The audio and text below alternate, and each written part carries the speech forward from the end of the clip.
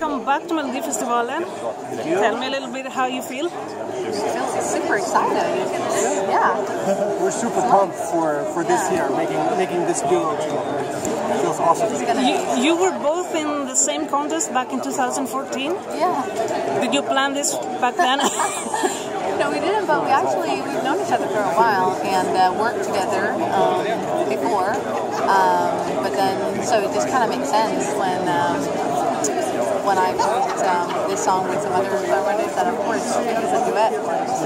Simon is an awesome singer. We were actually writing songs um, for a long period of time, and then I was sort of the guy behind the scenes writing and producing uh, because I work with that Yeah, family. for me. Yeah, Like, for you. That's why it's so funny that like we ended up here with a song that I've written for Yeah, you. exactly. So the, the roles but changed. please tell me a little bit about your song because uh, you were with a hard rock song, you were with a ballad. What's Yeah. going to be this time?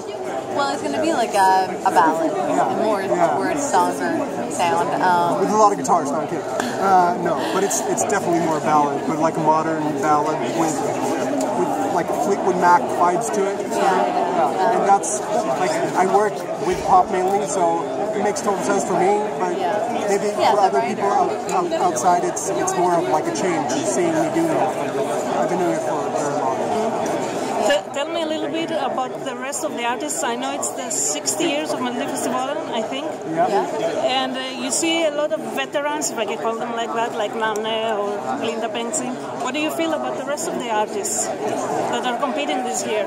I think it's, um, it's a really strong like um, couple like acts. Yeah. I mean, if we just see the names, so we Yeah, have heard Yeah, the the songs. it's, it's- it's super amazing. fun. Like it's always fun when it's like quality songs. For me personally, it's it's such a fun year because it feels like I know everyone already.